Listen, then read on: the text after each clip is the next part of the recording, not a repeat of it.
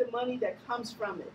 There are lots of folks that are starting to help us on the front end, and we want to be grounded in who we are so that we make the right decisions. And we're hoping that this conversation today can kickstart a conversation about how are we going to get this building, how are we going to maintain this building, and how are we going to make it in an image that makes sense uh, for us to use forever.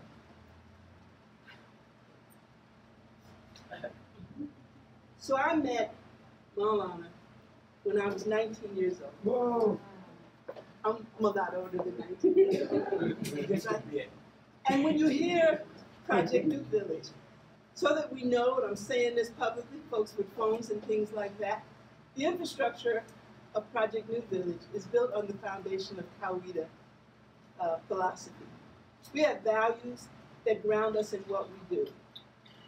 And so I'm appreciative and going to ask Kambuzi, who was the connector, if you will, with me and, and to come and introduce Maulana here today because it is a wonderful thing. And again, it's kicking off the next leg of our journey to be rooted in terms of what we do uh, with Project New Village. Thank you.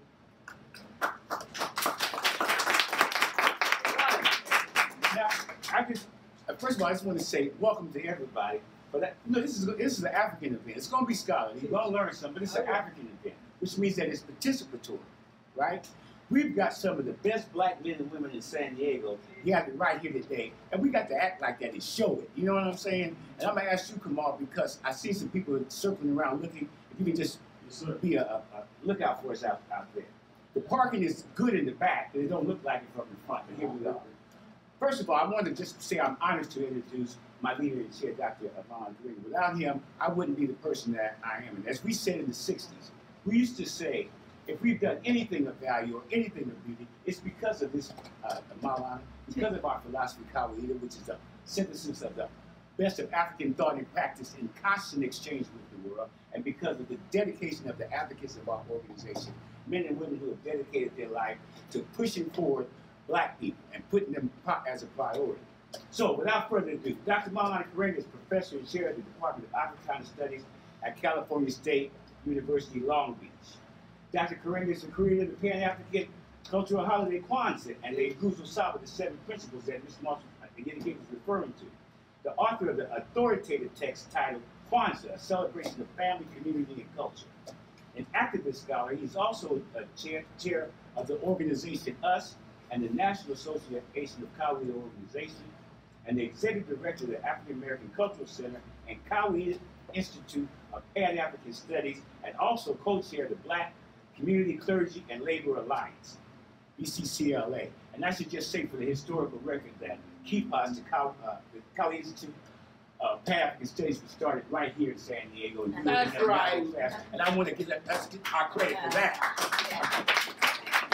Dr. Karenga is also the author of numerous, uh, numerous scholarly articles and books, including essays on struggle, position, and analysis, Kawaida and Questions of Life and Struggle, Maat, The Moral Idea in Ancient Egypt, a study of classical African ethics, Introduction to the Black, the Introduction to Black Studies, the fourth edition, and the Odu Ifa, the Ethical Teachings. He is currently writing a book on the social, we can't wait for it, social and ethical philosophy of Malcolm X titled The Liberation Ethics of Malcolm X, Critical Consciousness, Moral Grounding, and Transformative Struggle. Dr. Karenga is the recipient of numerous awards for scholarship, leadership, and service, including the Paula, Paul Robeson Zora Neale Hurston Award for scholarly work, significantly contributing to the understanding, development, and appreciation of world African community, and the CLR James Award for outstanding publication of scholarly works that advance the discipline of African, uh, African and Black studies, both from the National Council of Black Studies. He is also, and everyone should get this book, he is also the subject of a book by Dr. Molefe Asante, Asante titled Maulana Karenga, An Ethical Portrait. Please give us, help join me in giving a strong wrong. I'm sorry. I want to do that again, Santi Timur. This is a good lesson. Let's just you go back and you fix it. And Santi for that. It is also the subject of a book. He is also the subject of a book by Dr. Molefe Asante titled Maulana Karenga, An Intellectual Portrait. Should give, join me in giving a, wrong, a warm round of applause to our speaker who will be talking on taking a seat at the table, life, food, and the earth, and the just and justice for everyone. Dr. Maulana Kareem.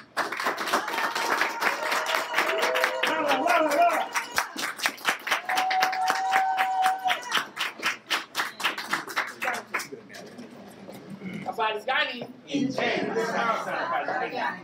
James. On behalf of our organization, us, and the African American Culture Center, on behalf of my house, my wife, my friend, my companion, and all things good and beautiful, Tiamoyo Karenga, I want to thank uh, I want to thank uh, Ms. Nini Kiro Moss, managing director of Project New Village, and Mr. Robert Tambuzi, member of the board of directors of Project uh, New Village, and many others involved in uh, sending out and giving this invitation to me and Timur to come and share with you uh, in this conversation. Uh, and I changed it a little bit. Instead of taking a seat at the table, I'm taking a place at the table because I want to build on uh, Daniel Cable's conversation about placemaking, which is actually an ancient Egyptian concept related to the creator who stepped out and made place. Yes. So one of his praise names is placemaker. One who makes place. That's a very important thing that whenever we're going to do things, we have to make a place for it, right? And so it's taking a place at the table, right? And then life, food, the earth, and justice for all.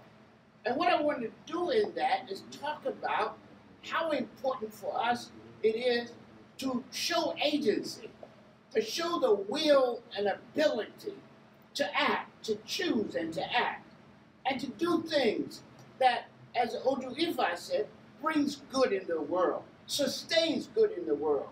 And certainly in this complexity of issues that we as a people, a country, and the world faces, we need to be able to have a place at the table, not only to eat, but to make decisions. Yes. And to commit ourselves and recommit ourselves to struggle to bring into being the good world we all want and deserve to live in. And so I just wanted to start off. Some, some of this I'm going to read some of this talk out, but I think it's important for framing, all right? So in the complexity of the continuing critical issues that confront us as a people, a country, and a world, community, the interrelated concerns of uh, and the struggle for life, food, the earth, and justice remain central to everything we do. Listen to that now. Food. Without food, we can't even go forward. Rescue me if I'm wrong, right? But food is what? A substance for life. So we have to respect life. Just showing you. And then the earth, the earth is the base, the place in which we make ourselves, in which we bring ourselves into being. Because we have to bring ourselves into being. Again, the Odu Ifa sacred text of our Yoruba ancestors said that if you are given birth, Mm-hmm. you must bring yourself into being again. Right? You must make yourself into what you want and need to be. In fact, what you ought to be. Right? And you have to choose to be the best of yourself. And as Garvey, Honorable Marcus Garvey said, we must struggle always to come into the fullness of ourselves. So that African means excellence. If African, we say in Kawaida, means anything, it must mean excellence. So if you're an African, you're supposed to just right from Jump Street, strive for excellence in all you do. In fact, that is what the book of Ptahhotep said, that we should strive for excellence in all that we do. And so I'm focusing, even though I focus because of the project, New Villages um, project, right? I focus on food. All of this is interrelated, right? As I told you, food is related to life. Life is related to the earth. The earth is related to our own struggle for justice for the earth and all in it, right? And so I there is both in thought and practice evidence that some groups, some people, don't get not only enough food, but enough justice. Indeed, justice and food are distributed according to a lot of social attributes race, mm-hmm. class, gender, sexuality, religion, age, ability. All of these things determine what you get in life, right? And so, what I want to do is to argue that to deny people, groups, persons, food, and other necessities of life is to demonstrate a depraved disregard for human life. Therefore, there's the our indispensable and vital starting point for any discussion about human life and pardon me, about human activities and human concern is the ethical issue and rightful struggle for food, justice, and other um, necessities is to start with the respect for the human person. If we don't have respect for the human person in all their diversity, right, regardless of race, class, gender, sex, sexuality, uh, religion, age, ability, etc., then we don't even have a conversation. If you don't respect me, what kind of conversation can we have? Excuse me if I'm wrong, right? So we have to start with that. And in our text, the ancient uh, of ancient Egypt, the sacred text of ancient Egypt, humans are defined as images of the divine and bearers of dignity. This concept of being an image of the divine, this concept of having dignity is key to all that we talk about. Because dignity means an inherent worthiness, right? That we are worthy by being born human, right? And that dignity, the ancient Egyptians called it shepesu, this internal worthiness has three characteristics to it.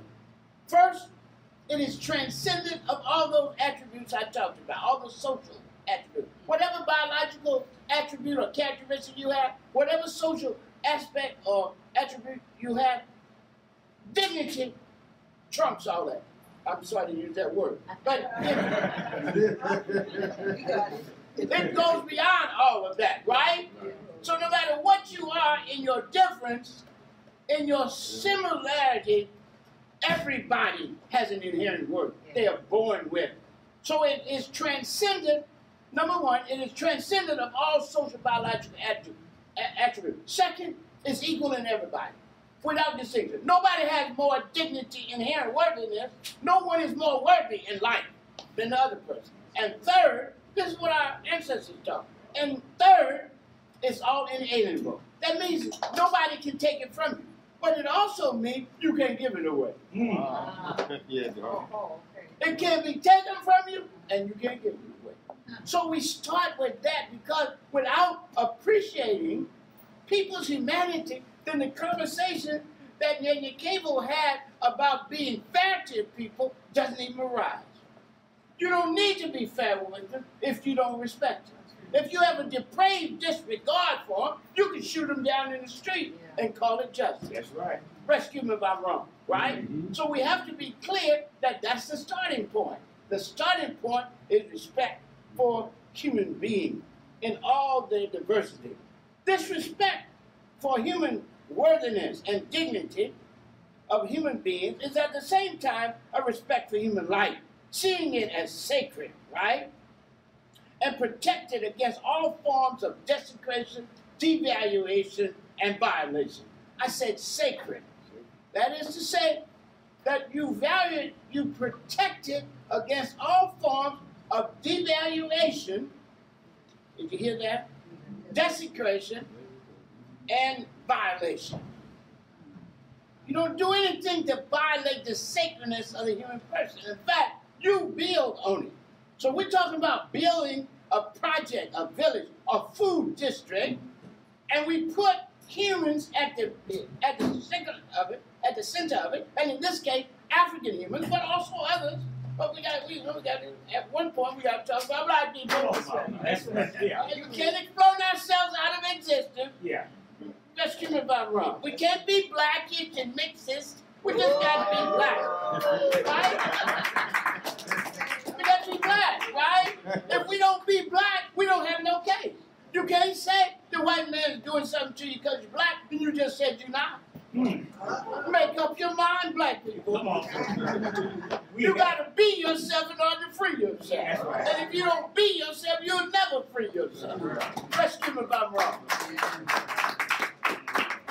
So, so um, if we if we uh, protect the human person against all forms of desecration, devaluation, and violation, this also means that people not only have a right to life, but also a right to the necessities of life. Ain't no need to say if people got a right to life, and then you're killing them by denying them the necessities of life. And at the basic, everybody has a right to food and water and clothing and shelter. Just, just at the minimum, right? Mm-hmm. But they also have a right to health care, Yes. Yes. Adequate health care, right? They have a right to recreation, they have a right to work, right? To employment, gainful ways to, you know, take care of themselves and to live a life of dignity and decency. Can't say you respect human dignity, then you don't give them the condition to live a dignified life. So clearly, there are many definitions of justice and social justice, right? I mean, there's a lot of ways people talk about social justice, but what I want to do is use a Kawaida. My Kawaida is my philosophy, and my philosophy defines itself as an ongoing synthesis of the best of African thought and practice in constant exchange with the world. So I try to get the best of what our people thought throughout the years, and in all places Africans live, and I try to put it into a coherent whole so that it represents the best of what we've thought and done throughout uh, the centuries. And so if I take that and I'm talking about justice, I want to talk about justice as conditions of society, conditions of society that ensure that persons and people receive their rightful due as human beings. And this includes at least four basic things, four basic conditions. Number one, respect for the equal dignity and rights of the people. Second, equality of treatment and of access to the necessities of life and the opportunities of life.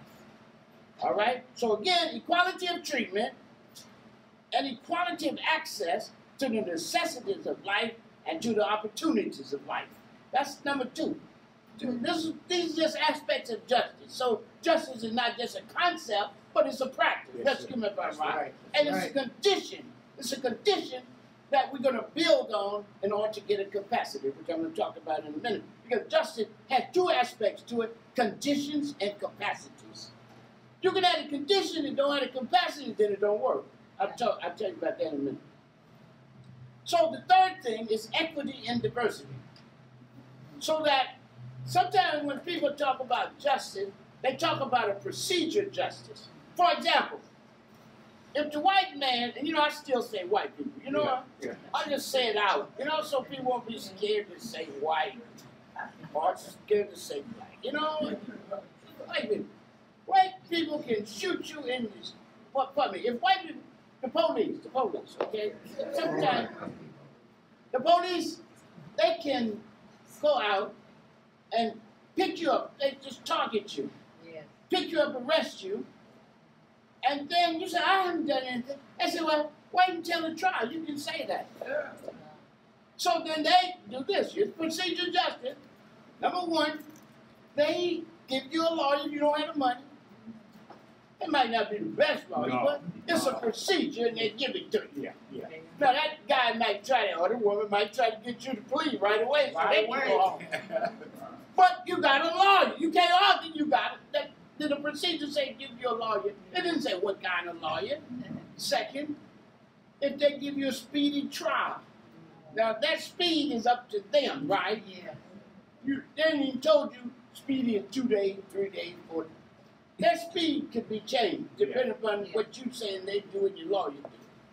And third, if you have a trial, And if you are convicted, that's still justice. You might be let off, and they'll say that's justice. But neither one of those is justice. Neither your conviction nor your exoneration is justice. You know what justice would be? Not even picking you up at all. Because you didn't do nothing. Didn't do that. So here you got a condition called court or legal justice, but you don't have the capacity to exercise it because they criminalized your race.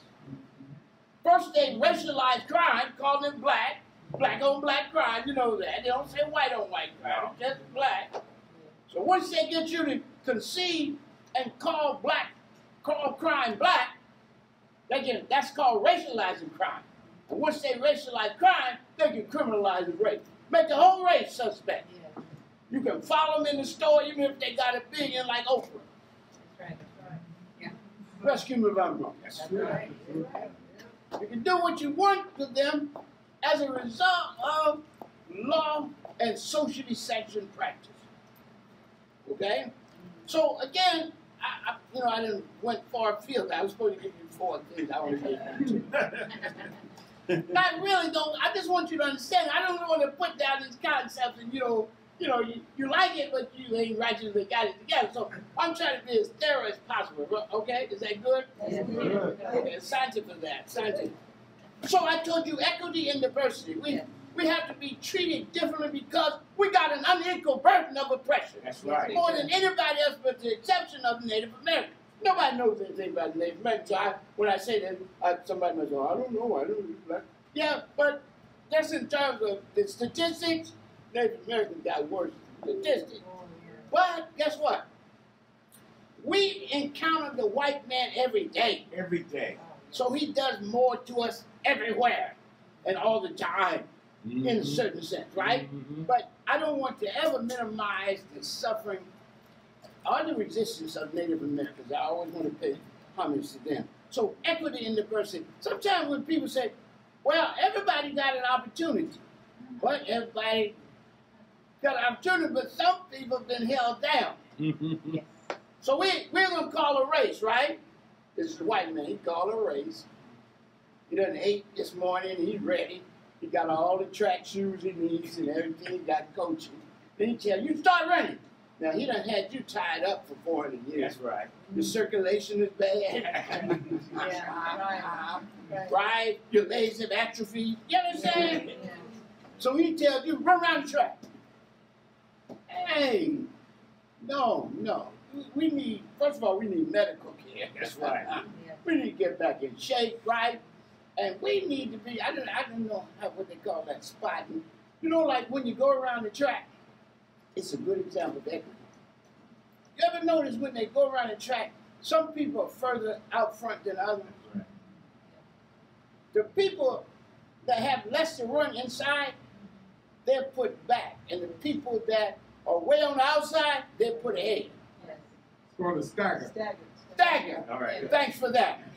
That stagger represents equity in diversity. That's right. Ah. See, when you've been on the outside all the way up there, you got oh. more to run. You got to give some kind of head start. That's what it got head start from. That's what it got affirmative action from, right? right. Yes, yes. You got to clean up what you done done for 400 years. You can't tie people up, bind them, chop one of their legs off, and tell them run fast as I do. Why aren't you running faster? Right?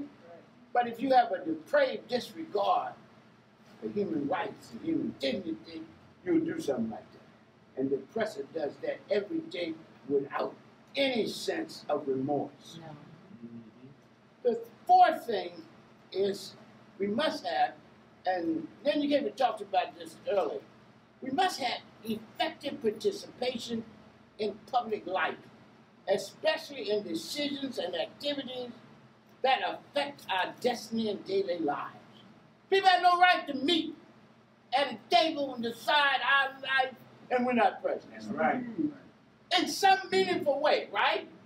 We all can't be at the table, right? But we got to have rightful representatives. And even if we got a representative, he or she not doing nothing, Uh, but you know, seeking a comfortable place, position and oppression, yeah. then we got a problem, right? So the evidence shows us an outcome of these conditions that if they're to be good conditions, then it must be expressed in people having the capacity to do these things. One, to live lives of well-being and flourishing. That's how I know the condition is right. If I if I'm I'm living a life of well-being and flourishing, not only am I just eating, but I'm growing and developing and thinking and hoping and aspiring and building, right? It's not just about eating. It's, but we can only come to this kind of conversation after we eat, right? I, I said this one time in one of my articles. Uh, humans don't live by bread alone, but they can only come to that conclusion after they eat, yes. right? You get real philosophical on a full stomach, yeah, right? Yeah, yeah, yeah. But if you're hungry, right, you tend to focus on food, right? So the first thing is that if the conditions are right and rightful and just, then we have the capacity to live lives of well-being and flourishing.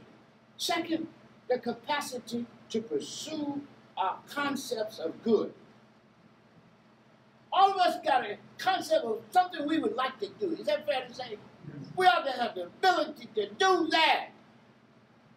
To become what we want to be, to come again into the fullness of ourselves. And thirdly, this is very important here because sometimes this is left out in an individualistic society, a vocally individualist society. We should also do this in mutual respect, caring, and community and cooperation with others. We have to do this in mutual respect, caring, community, and cooperation with others. We can't, the, the project that um, Nathan talked about, guess what? If we don't have it in the context of community, it ain't going nowhere. It could be a nice thing, and actually she could get it off. All she needs is some money. That's all. But that's not what she want to build, is a building. No. She don't want another business. No. Right? She wants a community. A food district that at its heart is a caring community, a cooperating community, a community that respects and cares for each other. Mm-hmm. That's that's what she wants to do with this new project village, right? This food district within the project village, right? And a lot of times people don't want to put emphasis on that. They just want to fill out forms, get the money. You know what I hmm. mean? Say the right thing. Go over there with your hat in the hand and expect kindness from the strangers. Funds and favor. I've said this about black leadership, you know? Like one of the things that happened since the 60s with black leadership spends much of his time away from black people. Right. And in the corporate world, seeking funds and favors from the white people. Rescue me if I'm wrong now. In fact, they don't know how to talk sometimes to black people. Right? They just know they need to say. And every year there's some new terminology you got to get. Yeah. You know, you got to learn uh, uh, grant language. Yeah. Yes. See? And you got to focus on what they. So all of a sudden now, the Haitians have been the most abused immigrants, and we never talked about them. But the Europeans decided that the Latinos are the new focus. So y'all got to talk about Latino immigration. And they can talk about Latino immigration, and guess what? You don't ever mention the Haitian or the continental African. That's right. Or any of the other Caribbeans. Now, you know, I'm not against Latinos. You know that. I was in an alliance with Latinos in the 60s when they didn't even have a serious population, right? So that, we're not even talking. I always argued for third world unity. Yes, sir. Anybody that knows me knows that. Yes, but I'm black, by the way. Notice? Yeah. So I got to be for black first. Yes. That's Garvey. Raise first. Yes. Yes. If I'm not for myself, how can I ask anybody else to be for me? If I don't respect myself and my interest, how do I present that to other people in a dignity affirming way, in a life enhancing way? Right? So I'm talking about how we cannot let our oppressor be our teacher or our allies be our tutor. We must speak with our own special, we'll speak our own special truth. Say that, say that, Mama. That's, We yes, must yes, speak yes. our own culture truth. And we must make our own unique contribution to how this society is reconceived and reconstructed. Now, I have, I have, in my title, I say taking, uh, taking a place at the table. So what does this mean, taking a place at the table? I have self-consciously and intentionally chosen to use the concept of taking a place at the table rather than simply sitting at the table or s- accepting a seat at the table that somebody else gave us. That's a very important thing. I'm going to say this again. Taking a place at the table rather than sitting at the table and accepting a seat at the table given to you by somebody else. If they give it to you, guess what? Come They're on. going to take it from you. You got to take the table. All right? Now, the, the reason I want take mhm, is I want to stress two things agency and struggle.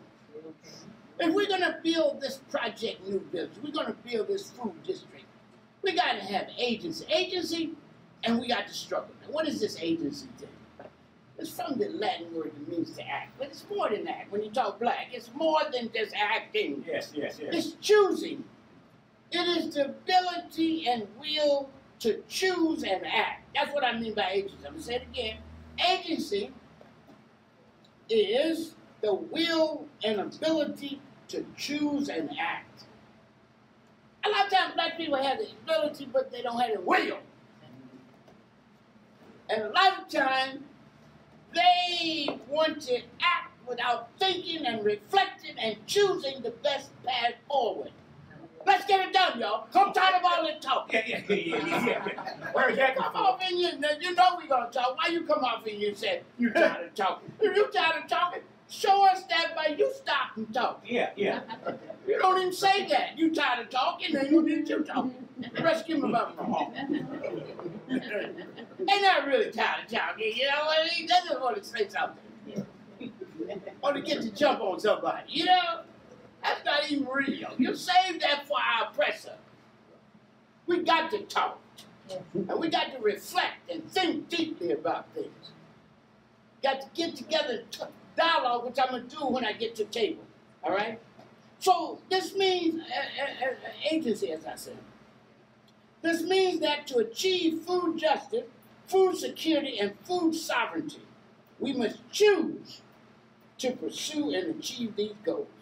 We must choose to act. We must choose to sacrifice. We must choose to dedicate ourselves. If we don't do that, hey, and you and I know it's hard to choose, right? It's easy to follow a routine. Are y'all there with me? Yeah. We got to choose to build Project Village. We got to choose to build the food district. We got to choose to spend twenty dollars a day, she said. And we got to choose to get a thousand people to do that. We got to choose. Choose to be free in order to be free. But Harriet Tubman told us to choose when she said, guess what? We must go free or die. That's it. And freedom is not bought with dust. In other words, it's not cheap. Yeah, It's not dirt cheap. yeah. You're going to get it, it's going to be cost and casualties. Teach mama. So you got to be ready for it. So we got to sacrifice to see this through, right? That means choosing.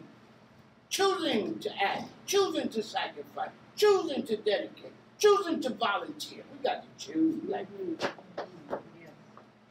And because all this choosing and acting will encounter, will encounter obstacles in the very structure of the country and the city and the state, then we must overcome them through righteous and relentless struggle. There is no alternative to struggle. Everybody that just wants things to happen, hoping you can go to a meeting, they just hug you and tell you, I've been wrong all these years. I've cheated you out of your money, I've cheated you out of your labor, I've enslaved you, I've segregated you, I've practiced vicious lynching against you. They're not going to do that without struggle. Same with reparations. How many of y'all believe we should have reparations? That's right. I know it. I know it. They owe, they owe us, right? They owe us everything they got. Everything. But they're not going to give it up. And only by struggle will we even get a measure of what we do. So what about this table? Taking a place at the table. I want you to reconceptualize table, and I want you to see it in at least three basic ways. All right. So, um, to take a place at the table has multiple meanings. A concept, uh, as it is used here, uh, and it means um, to first to take a place. Me, to take a place means to grasp it, to hold it in your hand, to take second, to assume possession and power. See? So first it is to grasp it. That means to seize it. You gotta, you gotta just take your place. I mean, you gotta seize your place at the table. Don't let people give you a place. Go in there as if it's your right already. That's right. right? And that the struggle of your ancestors and the struggle you've engaged in today means you won this. You've earned this, they say. say. You'll do this, right? Then the second thing that it means is to assume possession and power of it. See, you can have a place at the table, but if you don't assume possession and power of it, guess what? Somebody will be sitting in your seat. That's you, right. you ever thought you had a seat somewhere and you get up in there and somebody else is sitting there? I asked you a question. Have you ever had that? Yes. Yeah. That has been happening for hundreds of years. The imposter is in our seat, Come on. Yes. pretending he's us, pretending he's our representative, pretending we don't need any representative but him. Right. We got to take possession and power of our seat. Is that fair to say? We got to assume Yes. Yes. assume Yes. power, right? Right. The next thing, and this is key here, we must assume it to take it. All these words in English mean take. So take means to grab and hold, right? Or grasp and hold. Assume power and, and possession. But it also means to assume the right and responsibility for something. I take responsibility, you say, right? That's assuming responsibility for it. So if you're going to take a seat, you got to say, I take it as a right and a responsibility. It's our right, but it's also our responsibility. That's right. That's right. So if you want to get at the seat, Mhm. you can't just sit there smiling. You got to struggle to get it, you got to struggle to hold it. Huh. Now, to take a place at the table calls for an expansive concept of the table. So, what does the table mean? First, it means obviously a place where we gather to share food. We need to be at that table where people are eating. That's right. Everybody else is eating. Why we? Why are Africans all over the world? Come on. Mom. Why are we suffering from hunger, malnutrition, and even famine? Yes. That's enough word, food in the world to feed everybody. Do you know that one third of the food produced is wasted? Yes. We live in a consumer throwaway society. But people have too much to eat, more than they want or need, and they just keep possessing and acquiring because acquisitiveness is part of a capitalist consumer society.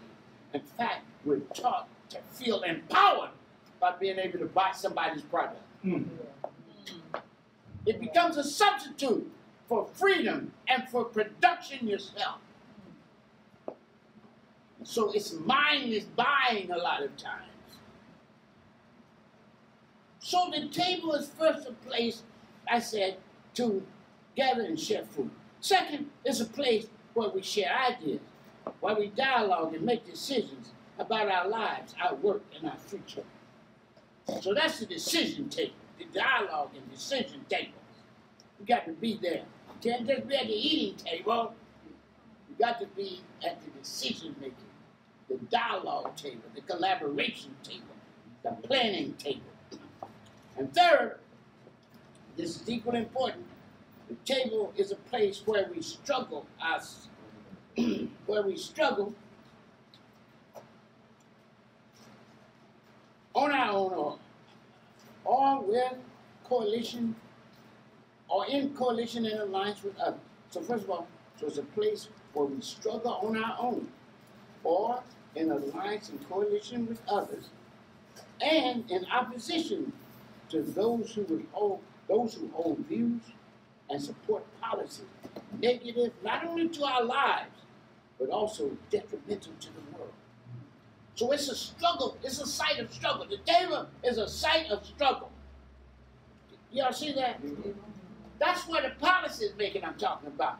So I done went to three different tables. Your home table where you eating, or the communal table where you eating. Second, the table where we gather around like now and talk about issues, right? But then there's a table where policy is being made. Yes. That's where you got to sit. And you got to go there and make either struggle by yourself. Because sometimes you don't have no allies. They got something else they want to do, right? You might have to take on everybody. Come on. We did it. But Yes. it's better if we struggle in alliance and coalition. Right? Yes. But don't be afraid if you have to build a coalition at the table. They came with one idea and you convince them of another. You got to struggle, is what I'm telling you, black people. Because sometimes black people, and, and another thing, don't get mad if people don't hug you every time they see you. So I tell black people, and I understand it because you know we're feeling people, right? We, we want people to like us, we want to like them. But guess what? They've been hugging us and even going to bed with some of us, Uh-huh. and it hasn't changed our status. Now, one of the things I'm gonna do, I'm gonna divert just one moment, and I'm gonna have to give up so we can have a conversation about this. Uh, the rest of it, I'm just outlining. Have you noticed on television, we got more and more integration Yeah. there's two or three things about it. First of all, it's giving you the idea, if you accept it, that progress is being made. Yeah. But there are two or three points that you should consider before you come to that conclusion. Number one, the white man has been doing it to the black woman and the man since we came in contact with him. Rescue me if I'm wrong. Right. We got time for discussion if you want it, so there's no progress of putting it on television. Second, have you noticed that they leave the black man out? Yes. Yes. It's just another way to kill the black man and to demonstrate he's not even worthy, not just to have his woman, but his children. Mm. His children are smiling in the face of the oppressor. That's my position. Here. I don't think we can love freely in an unfree situation. I don't think we can choose freely, or not as free as we need to free, in an unfree situation. So don't give me all that. We need wealth, we need power, and we need an alternative status. Yes. Wealth, power, and status. If your wealth don't change, your status don't change, and your power don't change, ain't no progress being made. Did y'all hear that? Yeah. I think you agree, right? Yeah. It's important here to realize that it's at that table of struggle that's important. Because if you don't be at that tough, tough, you miss the struggle that determines, if you don't be at that table and in that struggle, you miss the struggle that determines in great part, number one, how we eat. Hmm. Second, what we eat, how much we eat, and even where we eat. Now that's cold right there. Yeah. I just want to eat a, in on a food note. You know what I'm saying? So when Yanni Cable and Project Village and Tom Moody, and they were doing these gardens and trying to do CSA or community supported ag- agriculture, it's in opposition to agro, uh, ag- agro corporate farming or industrial farming, right? Who is concerned only with profit and what they call efficiency. So they make up food for you. And a lot of times, when I say you, I mean us too. Look, they make up food. They got monster seeds. They changed the way people are structured. Now, let me tell you this. Now, this is just uh, what do you call? So, Linda Cable had in her literature about telling your narrative, right? You know that's key. You gotta tell some black people gotta tell their story. That's right. Then our story is our history, and then our history is our humanity. Right? So we have to tell our story. So I'm talking my story, about what I see.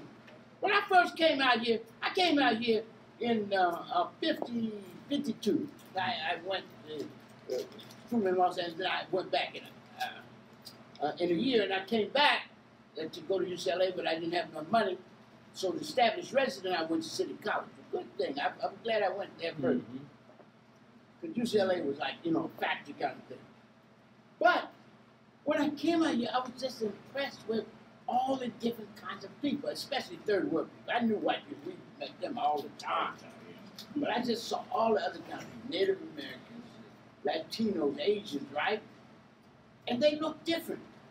Now, everybody, this is anecdotal now, everybody looks the same. I wonder why.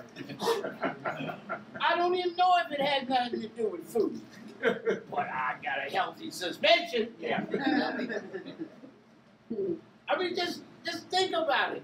Not only do they structurally look the same and talk the same, didn't they?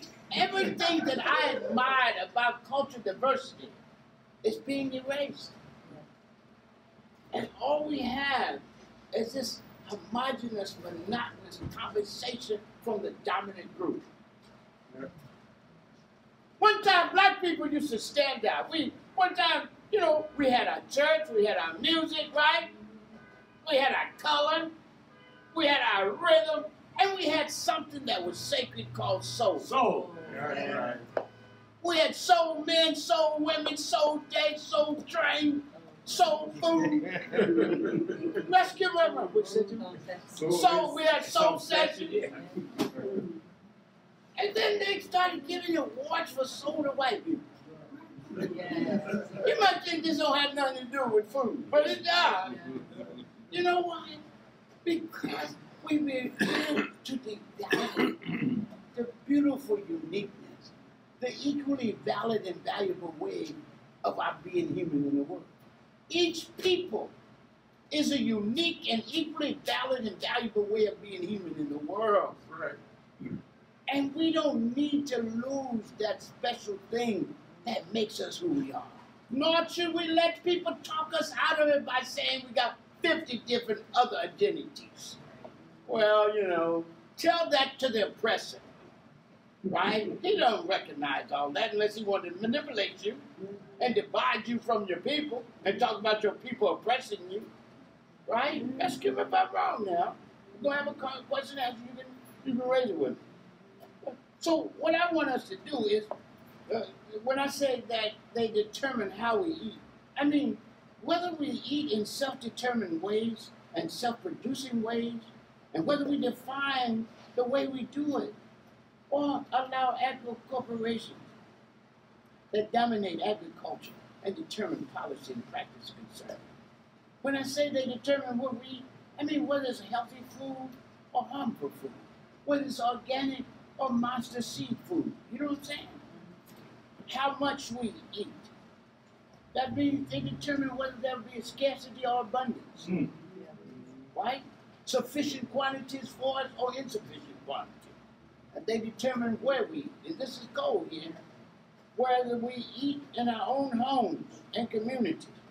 or find ourselves eating in places designated for those who have been denied the capacity to do so for themselves invariably.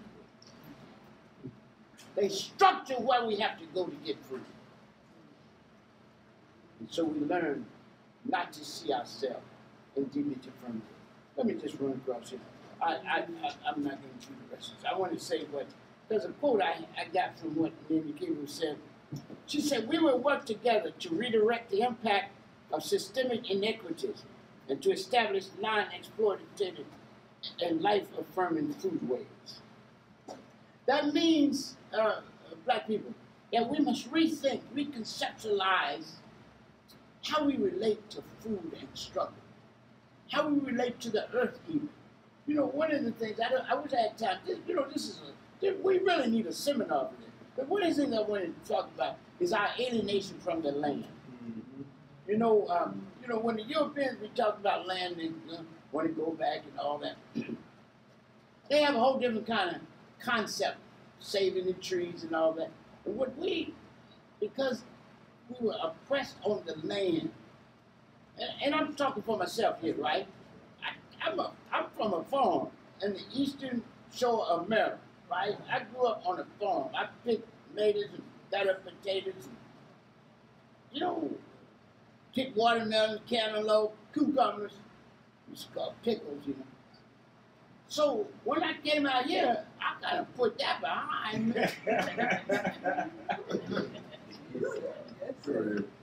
But you know, but I'm intellectual, so I don't give it all up because I see it related to my mother and father who love farming. Mm-hmm. They love their relationship with the land. They even when they didn't own land anymore because of a lot of things, they build a garden and tended the garden and love to see things grow. And walk me and my my my sibling in the woods to look at plants and to see trees and to talk about brooks and so I'm, I'm, I already got this in my mind, but you know, I'm, you know, right now I want to see the big light. Boy, look at these buildings. I even got caught up in these buildings, you know, stone and steel, you know. I don't, without knowing it, I'm trying to see myself through the eyes of my oppressor. I had to back off of that. Yeah. And listen to it. Even though I'm not a Muslim, I always say this. I am forever grateful to the Honorable Elijah Muhammad and to Malcolm X for teaching us the importance of being black, the importance, the divine importance of being black, right? That was a very important point for me. I'm, I'm, a, I'm a student at UCLA when I'm getting all into this, you know? So I'm, I'm, I'm just glad to leave that place and go listen to the march when they used to talk rock. You know what I mean? I don't know if y'all ever went to an early boss meeting, but it was serious, you know, about black men. And what happens here, black people, and I'm gonna close out here because I think I've given you enough. what what was important is that we remembered who we were and we learn to appreciate ourselves in a whole different way. Without the nation, I'm not sure where the black movement would be. That's right. Would it been in the 60s? And we sometimes forget that. We don't have to be a Muslim to give people credit. That's right. Just like we don't have to be Christian to give people credit. I give King credit. I give Malcolm credit. I give Fannie Lou Hamer. Most of the people that are our ancestors are Christian. We might not be Christian, but we have to give them credit for what they've done and what they brought as African people. And so I think it's important for us to end there. I want to just say, uh, let me just end it. I had this last thing. I want to talk about placemaking, but I'm not. I want to end by saying the whole thing is four, five things always when we do these things. Education, mobilization, organization, and confrontation leads to transformation. We've got to study black people. We've got to learn. We've got to make sure we understand the issues. And we've got to go to the people, start with what they know, build on what they have in Greenville, right? You'll see they have a, an infinite resource of knowledge. We got to appreciate our people. We got to listen to their narrative that Nina Gable and top we just say in the Project Village literature. We got to listen to them. We got to let them tell their narrative because they know about food. I was reading, because I was preparing for this lecture, I was reading on how black farmers and other third world farmers have been farming this land. We don't even have that history. But in this in this new village, in this new project, that history will be revived, retrieved, and used as a foundation to continue this producing food for ourselves, healthy food, shared food. Okay? And then of course we need to mobilize, keep people active. We need to structure them in terms of making them self-conscious agents of their own life and liberation and organization. Y'all got to belong to organization. It's so easy just to come and listen. But I need you to organize and get in, in, in a structure. There is no substitute for organized and engaged people constantly involved in a multiplicity of activity to define, defend, and advance their interests. And then finally, you got to confront. Confront means you intervene and interrupt. You got to intervene in the things done as just normal business. People can't just kill you and shoot you and just get along with it. You got to interrupt that. You got to intervene in that. You got to interrupt that. Not let them do business as usual. You can work out how you want to do that, but you got to do got that. to do it. And then finally, of course, that's transformation. You become self-conscious agent of your own life. Let me close by saying our ultimate aim is not just to eat better, but also to live better. Come on. Hey. And that means bringing and strengthening and expanding the food sovereignty movement and linking it to the larger movement for racial and social justice in this country. It means building a unity and struggle with other oppressed, neglected, underserved, and exploited peoples and communities. It means working to change policy and eliminate regulations, law, policy, practices, institutions, and dominant cultural norms uh, uh, and ways of thinking that privilege and empower by race and class and gender and other biosocial attributes. And it means an inclusive collaboration and imagining and building on the narratives and lessons of the past, the immediate experience of the present, and the aspirations for future. All of these extracting our best ideas and practice. For this is our duty to know our past and honor it, to engage our present and improve it, and to imagine a whole new future and to forge it in the most ethical, effective, and expansive way. Asante.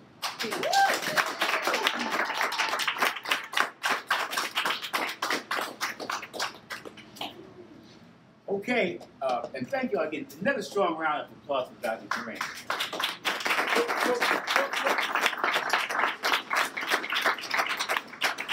What we would like to do now is uh, uh, take some questions or comments from the floor, but uh, Ms. Boston's going to come back because we're, I, I wanted to start with the first question, if I- could.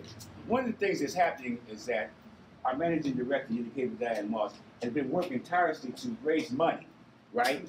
And a lot of us don't have the hundred thousand dollars that we need. We don't have those thousand people spending twenty dollars a, uh, uh, what is it, a day at this point. So we've had to go and deal with the government and corporate entities. And so Mama, I would, like to ask you, what, based on what you're saying, especially about taking a seat at the table, how are we to engage the people who are, who have this money and might want more than what they uh, deserve to get for giving? What board people, I'm. No, please what you said about St. Craig. It's a couple uh, entities like the San Diego Gas and Electric, Yeah. for example, or maybe even the city council. Sometimes they want to do things for us, quote unquote, Right. but they want their logo on it. They want to change the narrative. How do we, uh, when we're engaged in that kind of that kind of discussion and, and dialogue, how do we stay true to what we what you lectured on today in terms of staying stay on one point about the struggle and community? Appreciate what you said, Ryan said, Greg. First of all, all public space, city council, uh, uh, uh, California Assembly and Senate, the U.S. Uh, House of Representatives and Senate, all public wealth. We have right to. So we don't have to feel funny about doing that. Also, these other places, these corporations, they owe us money, right? Now the problem is not letting them put their stamp on your work. When they fund Jewish structures, you don't see their name. You have to find a way to give them a plaque over here or something. You know what I mean? Have, have some kind of plaque over there where everybody, and put them in the midst of everybody else so it's just another person. Whenever they can put their stamp and it's like they did it and they give you so much money, they feel that cripples you and makes you unable to ever break from them or to act independently, then you should stay away from that, right? It's always better to raise it from the community. But a lot of times the community doesn't have immediate money. And so you search for others. But whatever you do, you've got to maintain your self determination, or you end up not proposing a radical solution to the food uh, crisis, but only a reformist one, right? And only success in one space, while the rest of the people go hungry and powerless. So you have to watch for that. Timothy called to my attention that when I was talking about immigration, I didn't mention all the groups that are in the immigration that we should talk about. I just talked about Haiti because Haiti means a lot to us as African people, you know, because of the revolution. It was the only one in history where enslaved people defeated their enslavers and set up a republic. And then helped Latin America to get free. And was a model for Africans and African in this country who went to Haiti. So Haiti is a special thing. But Haiti is also one of the most abused countries in the world today, Yes. right? And like other people can get in and they have large structures that can advertise for them, Haiti doesn't. So I, I tended to mention them. And I mentioned Latino as an example of what the Europeans now use as the goals, uh, the main focus of immigration. And I've been working with Latinos to get them, if they want my support, they got to mention Africans. African from the continent, let me just say, African from the continent, as well as the Caribbean, and anywhere else Africans are migrating from. And the second, we should also keep in mind Native American. Because the Europeans drew borders that separated Native American communities. So uh, the, there's an immigration issue, say, for the Yaqui across the border right here in San Diego. They, they, some of them are here in the U.S., some of them in Mexico. There was no border before all of this was there. You see?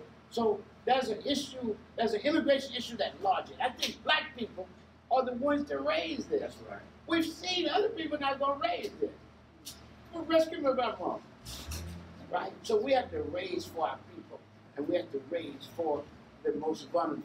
The Husia, the sacred text of ancient Egypt, tells us we are morally obligated to bear witness to truth and to set the scales of justice in their proper place among those who have no voice.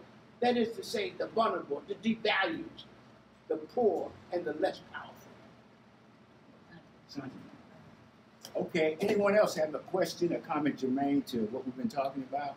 I see, I see you back there, Sister Maria. I see your, your brain wearing. You got, because I know you're engaged in this. Anyone got any questions or I. I, I just want to say, All right. Uh, Anthony uh, Baba, uh, we met many, many years ago, rites of passage. Okay, But what I want to say is that uh, what's your name? Anthony uh, thank you. as far as the food and the planting, I grew up in the garden with my mother, pretty much like you grew up on a farm. My Yeah. grandparents were sugarcane farmers. And wherever I go, I encourage people, even if it's a tomato plant on your windowsill, Yes, you plant that. yes. I encourage people to, uh, my neighbors, I encourage my neighbors, you plant tomatoes, I'll plant okras, you plant, and we share them together. In my neighborhood where I live, uh, sometimes I would come and I would find a big bag of tomatoes on my door. Yes. I would take a bag of peaches to my neighbor door. Uh-huh. if we if we grow because we don't have acres of palm, if we grow in our yard what food we can, we can share with each other. And we know we're building it organically, we're growing it organic. And also that we should learn how to grow. You know, corn is an easy staple to grow. Tomatoes, side. Uh, these things that in the market are very expensive. We can grow them in a box in our kitchen window. So we must take the initiative to help feed ourselves. Yeah. And uh, this is my grandson, and I am fortunate that I have the opportunity to come and sit here with him. Mm. So that hopefully, whether he goes and grow a tomato or not, he can't say we didn't say. Yeah. yeah, and that's the thing. To see these young children here, they would not be able to say that somebody didn't show or tell them. Mhm. And another thing you said earlier about rights and responsibility. We have the right to everything as human beings, but we have the responsibility as to how we exercise our rights. For example, I have the right to say what I want, but I have the responsibility to how it affects you. Right. And so we teach them these things and the foundations. And mostly, uh, when you get up in the morning and you see your garden blooming, you're good to go. Right. You said what you said, Brian. Said, I, I agree with everything you said. What I want to do is reconceptualize it from a community African point. And I want to say that whatever you do personally, it's not the same as or substitute for doing things as a community. In the final analysis, one of the reasons why we can't keep the traditions that we have going is because as a result of the black freedom struggle and the leadership from the integrationist leadership, we lost a sense of community. And people convinced us we didn't need the black community. We needed to escape that and go somewhere else. And what I'm arguing is I thrived in the black community. I mm-hmm. thrived in the black school, right? I had a strong sense of myself. That's, that's where I got my grounding. That's what gave me the ability to do what I'm doing now. And I'm saying to you, uh, Brother Atkins, and all the people here, teach your children not only what you know, but teach them to link themselves with larger structures so that the community is strengthened. So I believe in family and community.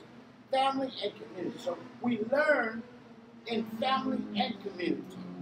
We teach in family and community. We share in family and community. So what you're teaching about the tomatoes and about the garden, if you're just teaching it, after a while, because teenagers go through a rebellion period, they're just saying, well, he's saying that, but. Yeah. But if everybody right. they That's right. know it's saying it, or if there's a community thrust toward that, it's hard to avoid right?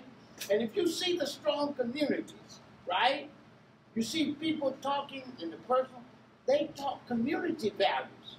We need community values. That's good for you to have that value, but if nobody has it but you, it looks strange.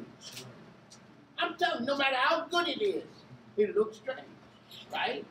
It's just, I'll give you an example. One time, black people was really dressed. They liked their dress. You look at them old tapes, the old movies, see the Commodores, the uh, uh, uh, Temptation. the Temptations, the Four Tops, the uh, Supremes. People be dressed. You see what they wear now? You know what I'm saying? Because guess what? We gave up being black. And and you know, here's, now this is cold what I'm going to say, but I don't mean it in any disparaging way. Africans love color, Yeah. but there's a difference between being colorful and clowny. Mm. I'm not going to say it. Enough said. You know what I'm saying? Enough said. Brother Wallace. Then you come on. Known you off and on throughout the years. Yes. We was back nineteen sixties during the black struggle. Uh, my name is Henry Wallace. I'm chairman of the San Diego Original Black Panther Party Uh huh. for Community Empowerment. Jeez. Recently reactivated for the purpose of reestablishing our history here in the city. Yes. no one remembered us. And so instead of them telling our story, I had to come out and tell our story. Jeez. Since then, we uh, went back to our social program, which is feeding people. Uh huh. So uh, I had hooked up that with Diane, but the Excuse me, Diane, I went there one day and you wasn't there, so that's why I haven't been back. But I'll get back with you. Uh, we give out food. See, I like that. Let's Yeah, have they don't smooth. talking it right out Yeah, in yeah, public. yeah, yeah, yeah, yeah, That yeah. part. That part, yeah. But anyhow, we give out food to low income families. Okay. Three times, three days a week. Okay, In San Diego, we have hundreds of people that we give food to now. that's good. We're over at the San Diego Elks, the, the last black-owned Elks in San Diego. So on Tuesday, we give out food at eleven AM. We give it out at that Elks as symbolism Yeah. that we must maintain our black institution. So we're going back to trying to establish some things. I would love to have conversation with you Be glad to. in the near future, because we're doing something that you might be interested in. Be glad well. So if you guys want to know more about what we're doing, go to Facebook, Henry L. Wallace, and you'll know the days and times that we give out food. Uh-huh. They made me take down the Black Panther Party symbol back in the days when they were trying to, uh, make sure that there's no radical groups on the, uh, internet. But now I have put in my name, so I'm proud to be a Black Panther, so I put my name out there. Henry L. Wallace.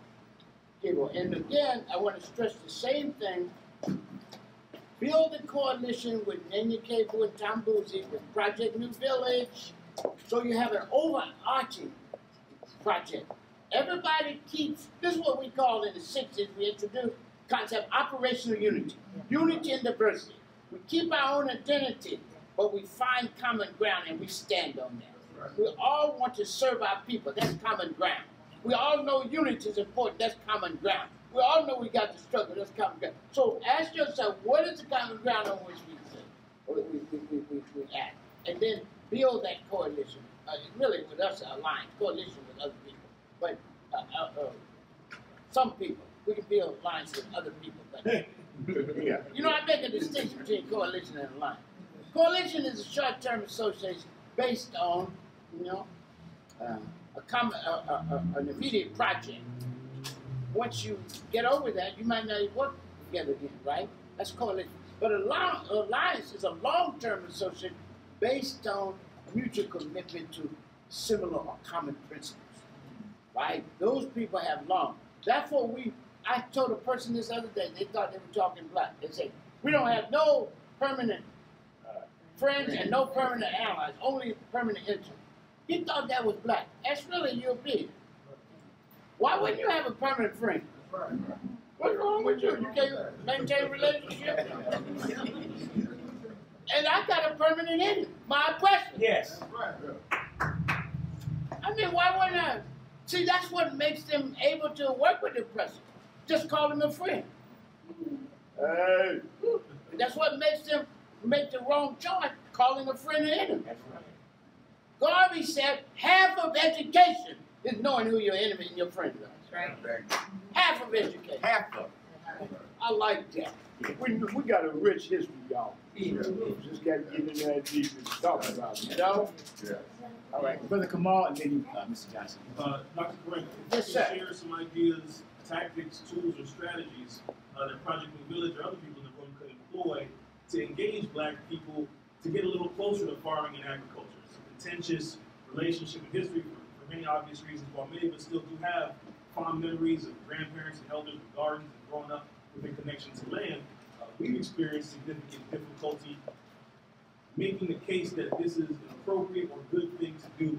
Uh, what are some historical examples perhaps you could share that we could employ uh, instead of recreating the wheel to, to reclaim that heritage and that birthright and become producers again and not just consumers like you mentioned? Appreciate what you said, everybody saying, brother.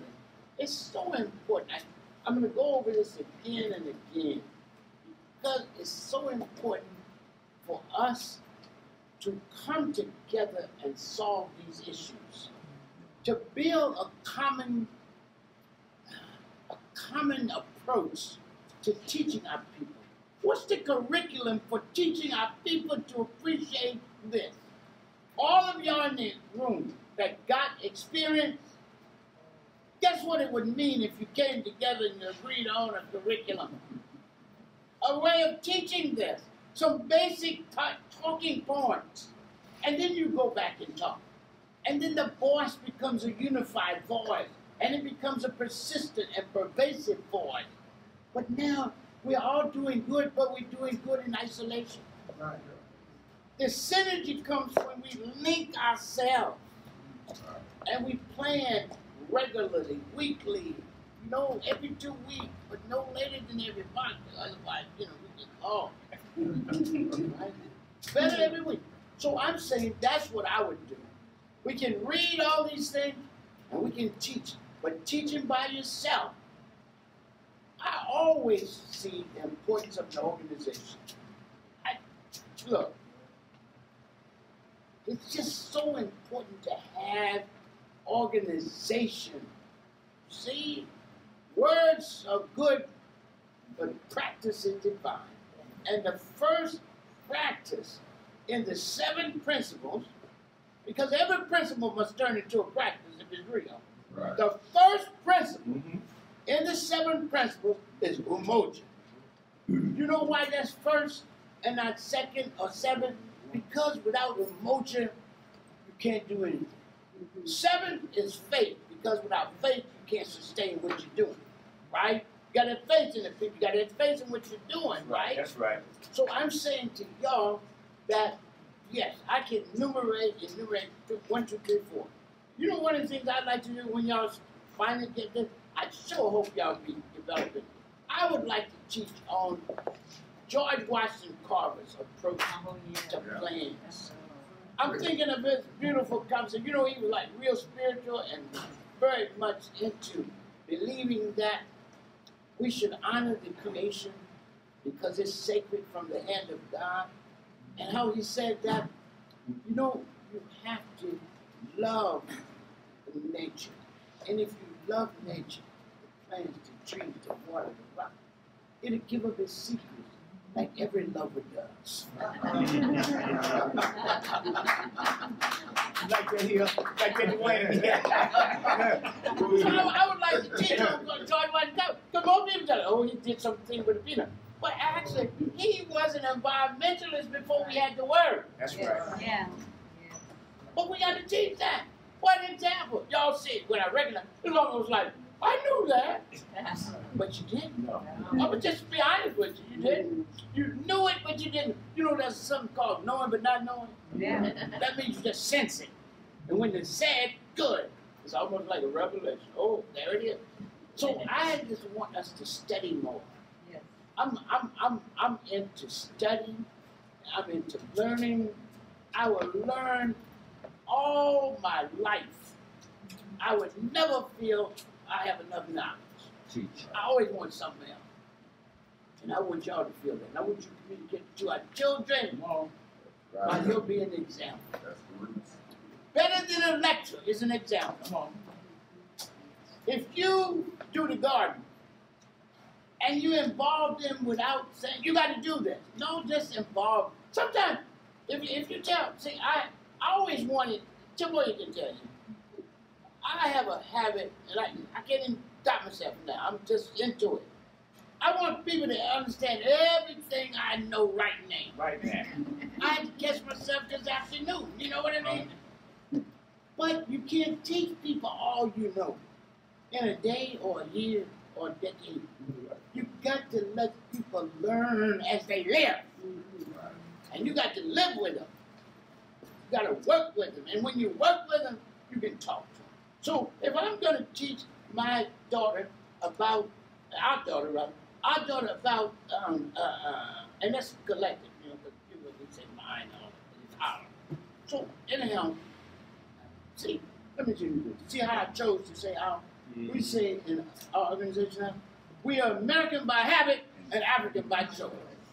You normally say my. American says my, but it's ours, right? So anyhow, if I want our daughter to learn gardening better than a lecture and a telling her is to start the garden and ask her to plant this. Without even without even justification for why it is. After it grows, it's oh, isn't it pretty? Why don't we try this over here? Get people involved in the practice of doing good in the world, of bringing beauty in the world. then they can learn. If it's just an isolated lesson, people gonna resist it. First of all, they don't want to admit they don't know something. Whether it's your children or your cousin, right? They don't want to say. But if you just go on and do it, do this, do this, or tell them something you like. Tell them how beautiful it is to plant a garden, see a tomato grow. That's it. Not don't you do it, No. Look, how would you think about that? You want to try to do this? Oh no, I don't want. Okay, good. Whatever. But keep coming back. Now, there's some place, my our daughter would tell you this. At some point, you're gonna have to give direction. Yeah. So I don't want you to have you, you know, with the European, the daughter went upstairs if you got one. You know that. Close the door and lock your house. We're not into that, right? So we got to give direction, right? At one point, we got to give direction. Can't be oppressive, but we got to give direction. You can always question the rightness of your decision, but you should never question your right to make it. You should never question your right to give your children good advice. Otherwise, what are you there for if you turn yourself into an ATM machine? They don't need you unless they need money. Huh? I was kind of long on that. but- uh, Billy Johnson. Um, that's what I was going to stress is that the importance of food for the soul is like a lost art. We were losing our, our grandmamas the way the way they used to cook it, our mamas Yes. the way they, the way they used to cook it, or just making the food taste so so good. Yeah. And uh, we just got to take that extra chance and, and, and, and, and make our kids learn. But I'm, I'm just saying, just, just like you touched on about our soul food and we're losing someone, uh, we need to reach out and try to, you know, hey, mama, how, how, how you cook, cook, cook that, that rice? Or dirty rice or gumbo or, Yeah. you know. That's right. No, that's that's an excellent point because appreciate what you said about St. Tiamoyo can tell you, I, I, I, I do most of the cooking in the house. And I bring in my mother. You know, she cooked too, but I bring in this uh, this whole array that my mother used. And I, but I don't remember all of it, I call my older sister and I ask her, why do we do this? You know? There's some things I can't remember, you know? But I had to cook because I'm on a farm. I had to cook when I'm like five, six, seven months early. To cook. You know, you, you know, cook, you in trouble because people's out in the field. So you learn how to do these things, and you learn them out of necessity, but you also learn them because when you watch your mama cook, and she gives you some of it before it's done, before it's served, that's an added thing. You know, so I'm learning. That's I'm learning. We have to have incentives. We have to give our children incentives to learn and teach them, cultivate, instead of saying make them, cultivate in them appreciation for these things that we love and know are good. And that's what you're doing, and I appreciate that. And that's what we all should do. All right, Mr. Hill, did you have your hand up? Yeah, um, And before you go, could I just say this? I, I, this as, as Dr. Karenga was talking, I'm looking at the children that are here, and I think that they need to be given a round of applause because. Amen. All right, y'all. Because it's, it's, and they need to- they need to know that we, that we, we value them. And one of the things I've learned from being around Dr. Karenga all these years is that there's no better time than right now to start doing something that's different. And for them to see it, to know that these people are doing this to help them and to make them feel better. And I really want to give you a lot of credit for what you've been doing. So now you can ask your question. okay, uh, you know, uh, I, I, I, my, my name is Dwayne, Dwayne Hill. Uh, Okay. I, I, come from a long legacy of men of the earth, you know, we purpose the earth and grow many things. But in here now in time, uh, you know, as you feed the body, you, you have, I mentioned, I heard you mention education, education, education. Yes. And uh, we have to feed our mind. So I brought my grandkids, uh, grandson, Our grandchildren. our grandson, our grandson, um, you know, um, because on a daily basis we, we practice our education, and I'm going to have them to take a picture with you, and I would like if you could leave a question on them, uh, how important, which is uh, something that they can reflect on 20, 30 years from now, you know, because uh, that's what I do when my mom or dad said, I told you so. And then when I get older, I said, she told me so. And it came to pass. So I, I want you to uh, get a, a such a revelation where, you know, you know they're going to say, I told you so, because you told them so. You get it? Okay. And they will have a picture to reflect on 30 because they're going to take a picture with you. Oh, yeah. You know. You're gonna ask me that? Oh, yeah.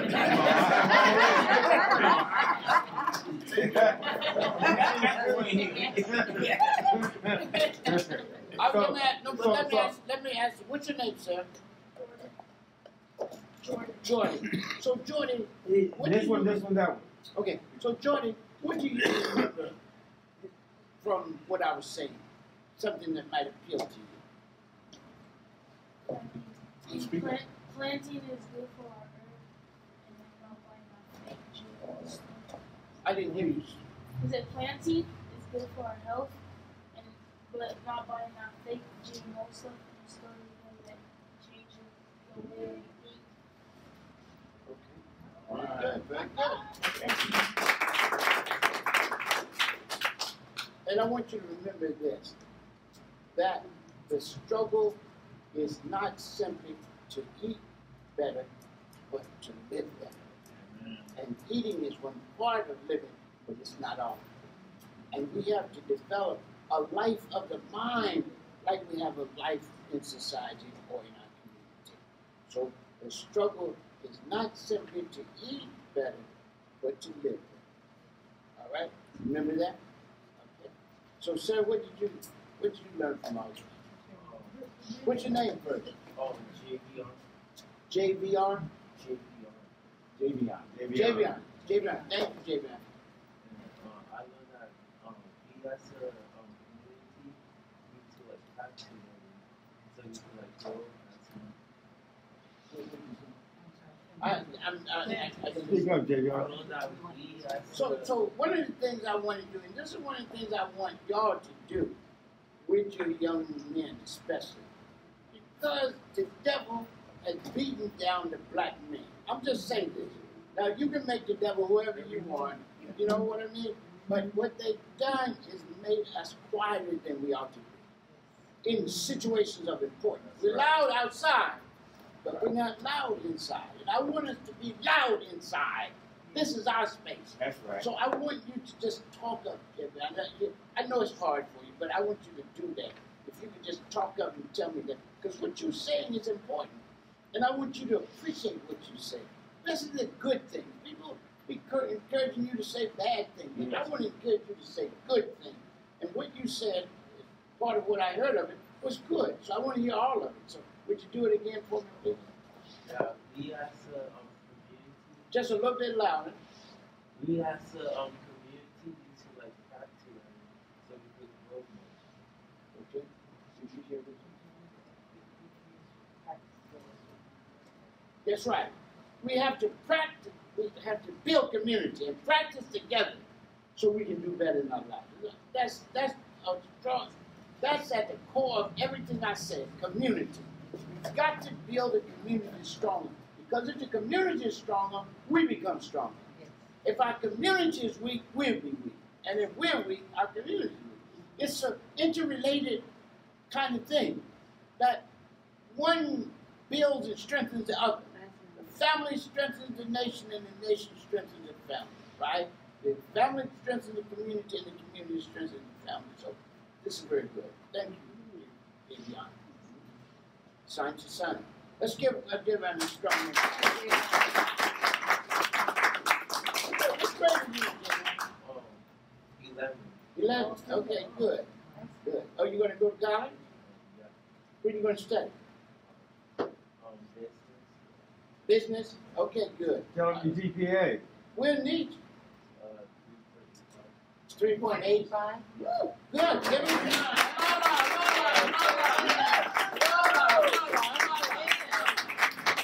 Hey, hey. All right, so And so, look, can I tell you? So, see, now this is what I'm talking about community. Once you get your business degree, you might could work for a Project New Zealand and help them to keep their books straight. Yeah. And you know what's beautiful about that? It'll be helping them, listen, it'll be helping them to keep in the black. That's right. And you know, you know, that's what, that's the only good thing in the English language that's black, right? Yeah. So because they had the books, uh, Javion and, uh, Jordan, Jordan, so Javion and Jordan, the, the reason they say is you're in the black, that means you got profit, is because they used to do the books in black ink. And when they wanted to show a loss, they put it in red. So that's how Black Friday and all that came. This is the Friday for profit, right? Yeah. But they're not talking about us, but we're taking it in. Yeah. We make it real. So you can keep the uh, the project in the village and the black, you know, with your business guys. You know what I mean? You make it develop and fluid. So I look forward to that. Just one more hand for the young man.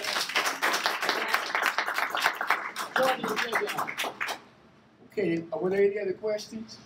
Comments? Just one quick comment. Uh, Tony, Elder I Baba, let's- a- question, Could you, ask a question? Yeah. I want to make a comment. okay.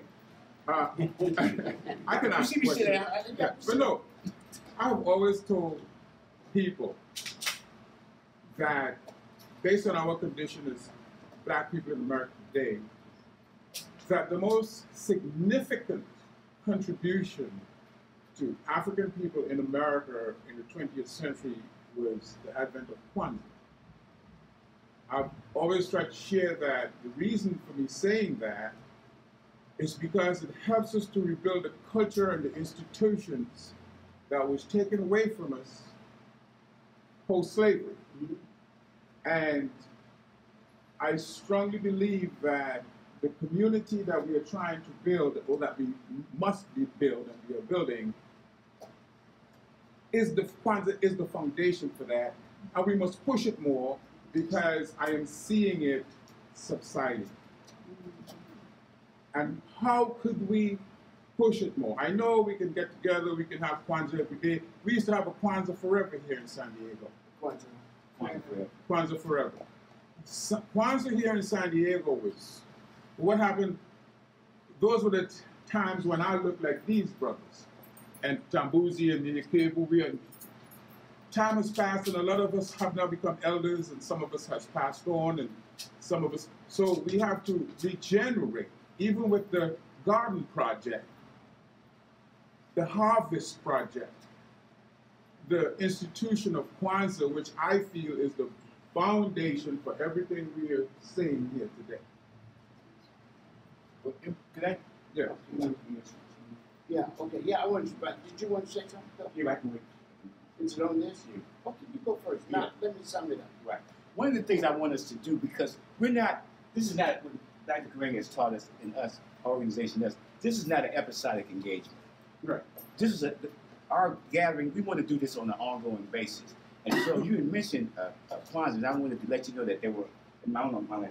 You want to be able to speak. Yeah, Speak. sign. So we have uh, uh, the authentic Kwanzaa book that Dr. Karenga authored. We have it here. He's going to be willing to sign it, so that's that will be available.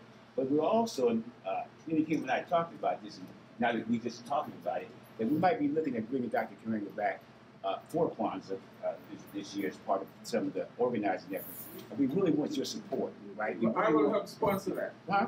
No, I really want, we really want your support to tell people, tell 10 other people. And I also want to tell you, Mr. Aki and other colleagues, that as we're getting older, we're being not replaced, but there are other younger people who are coming in and keeping the, the holiday alive all across the country and here in San Diego too. So we're still here to lay the foundation, to be the advisors, to be the people, the, the sages, so to speak. But we do have a lot of young people. Our board chair, Kamal, is a young man. America, we got a lot of young people who are doing this and continuing this tradition. So I wanted to make sure that we knew that and stay lifted based on the conversation that we've been having this afternoon. Okay. Appreciate what you said about St. Greg. Then I want you to take this in a good spirit. One of the things we've got to do if we want to advance, we've got to we've got to show it as a historically created holiday. If we say, and, and I'm not criticizing you, I'm saying if we say the event of Kwanzaa, two things happen. It's like it dropped. So I there's Advent. struggle. Advent. What you say? Advent Kwanzaa. Yeah, I said, did I say Advent? Advent, yeah, Yeah, okay. Advent. I'm All right. saying, but listen to what I'm saying. Okay, It's like the advent of Jesus. It's almost a magical thing. okay, right, right. It's not a magical thing. It came from intellectual creativity out of the struggle. And it came from the values of Kwanzaa, uh, uh, the, uh, the Nguzo Saba. Kwanzaa, I created Kwanzaa. It's important to say that because a lot of times people deny black children and black people a model of creativity. Garvey said what humans have done, humans can do. Hmm. Maybe they can't create a Kwanzaa like I did, but they can create something of beauty and value. And if you deny them a reference point, if you pretend like the ancestors did something or it just happened, and you don't show how someone had to study. I had to study. I learned many languages. I learned many cultures. And I had to put that together as a coherent practice, right? And I did it as a result of the movement. In the movement, we, I, I left UCLA. I was at UCLA at the beginning of the movement, right? And I, when when the transition from uh, civil rights phase of the Black freedom movement to the Black power phase of the uh, Black movement, the white man has done changed our Black freedom movement. He makes our Black freedom movement just the civil rights movement which does two things redefine what we are and diminish the importance of freedom to us, right? Reduces our struggle to just civil rights and even makes Malcolm a civil rights leader when Malcolm said we're human rights. That's right. We got to struggle for human rights, not civil rights, right? So we don't want to do that. What I want to do is show that this is an act of freedom itself, that creation of this, this culture initiative was an act of freedom to free us from the domination of the values of the dominant society, right? To go back, as you said, and retrieve the best of what it means to be African and human and speak that special culture truth to the world. And I created Kwanzaa as a structure to do the to, to, to, to introduce these values. I created Kwanzaa for three basic reasons. One, to reaffirm our rootedness in African culture, that we were African people, that we had been lifted out of our own culture and history and made a footnote, forgotten casualty in white history. And that our struggle, as Cabral said, was to return to our own history and culture. Second, I created to give us a time when we as African people could come together, reaffirm the bonds between us, speak on the beauty of African culture, and meditate on the awesome meaning of being African in the world. What does it mean to be the fathers and mothers of human civilization? What does it mean to, in fact, wage a struggle in this country that changed the course of this struggle and created a society, even in its flaws, that George Washington, and Thomas Jefferson couldn't imagine and certainly couldn't accept. We as a people talk more about being African and about struggle than any other time during the year. And And all over the wo- let me finish. Uh. and all over the world, millions of African people, millions, I said, of African people on every continent in the world celebrate Kwanzaa. So I want us to do this. Number one, talk about the context in which Kwanzaa is created and the creative Kwanzaa and what must have been going on in his mind. Second, talk about the values. Teach the Nguzo Saba, right? Third, don't let the white man get you talking about how Kwanzaa's not growing and how it's small. He does that every year. Talk about Kwanzaa's growth all over the world. We get pictures, internet, uh, we get what you call emails. I do interviews with people on different continents about. Kwanzaa is not dying, it's growing. What we need to do is play our part in its continued expansion. And we have to have, as molecular scientists say, a victorious consciousness. And we got to talk victory and don't let the Europeans get us talking about capacity. To, to believe The last thing, the last Sorry. thing, uh, the last thing, get out, get, listen, y'all, I need you to do this, and I, I, I quit. I want y'all to do this. I want you to involve the youth without diminishing your own role. Yes. yes. I get tired of older people rendering themselves irrelevant. If- Why are we doing that? We got a role to play. Actually, I'm, you know, I, I don't think any of you can play more role than me, but I'm a different kind of person, right? But I think that people who believe they're finished or believe they need to sit to the side, that's not real. That's not African. No. The elders also have a role. Yes. You advise. You, as, as, as, uh, you tell the narrative. Yes. Every Kwanzaa in Akaramu, we have elders tell the narrative. Yes. We've got to do that. You help them build. Don't ever say, baby, it's your turn. Baby don't even know it's their turn, right? baby got to be taught, cultivated to appreciate the historical role they played.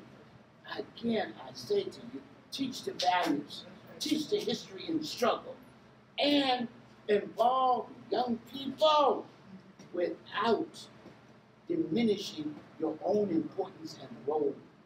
Finally, go and build this. Again, here's Project New Village. Why can't we be hmm. there and create? We got in Los Angeles called Kwanzaa Ujima Collective, in which we plan events for the city. So everybody that's on this committee, they take a night and they want to do Kwanzaa in the seven years. Y'all can do the same thing. We used to do it. Why not? I I must say, I, I, I, I humbly stand corrected for using that word Advent. Because as I said, it's been created. And, and I do stand strong in, in, in passing this along. Um, so, oh, I took my whooping. Good. That's good. I, I thank you for saying that. Can I ask that. you that though? Yes, sir. ask you that? Yes, sir. Can you say asante to you, Dr. Karenga, for creating it? Asante to you, Dr. Karenga, for creating it. That's all. On behalf of me and all my generations. That's our key. Go. Asante, brother. Asante, Dr. Karenga. Okay, man. I'm finished. All right. I So- want to, oh. No. So here, here's how, what I want to do, say to you. This is how we end our meetings a lot of times in the organization us. My organization is us. us. Us is symbolic of three things. One, commitment to the priority of the people. Second, commitment to opposition to our oppressor and our oppression. And third, a commitment to a community and African way of life. So when we say us, that's we mean all those things. So in our, our organization, us, we say this. At the end of our um, um, events, a lot of time. This is my message to you. Continue the struggle. Continue struggle. Keep the faith. Keep the faith. Hold the line. Hold the line. Love our people and each other. Love our people and each other. Seek and speak truth. Seek and speak truth. Do and demand justice.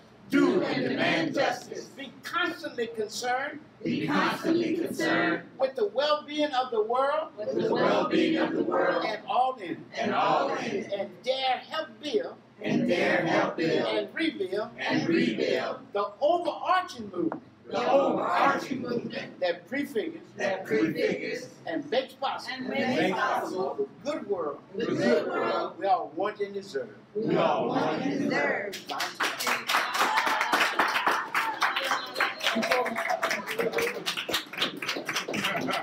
Let's close out with Harambee. And thanks again, Brother Anthony, for saying that. I too believe that's a turning point Yes, and a, central message of uh, struggle. We close our meeting the way we had for 54 years. This is our 54th anniversary. And we say it by saying seven Harambee. Harambee is a Swahili word that means let's all pull together. And surely to build the good world we all want and deserve to live in, we must pull together. And when we say it, we put our hand up in the air like this and put out seven times for the Nguzo Saba, the seven principle. The seven principle of Kwanzaa, the seven principle of Kawaida philosophy.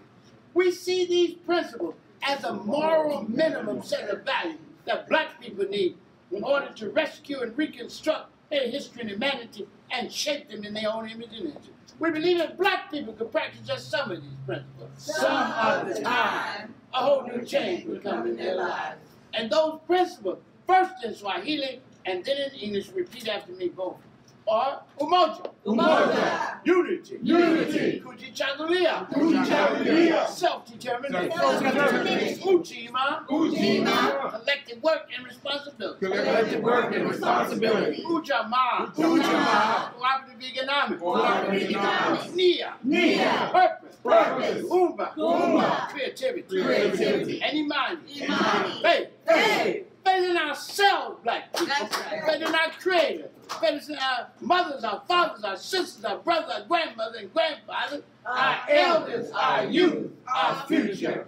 Faith in all that makes us beautiful and strong. And faith in the righteousness and victory of our cause.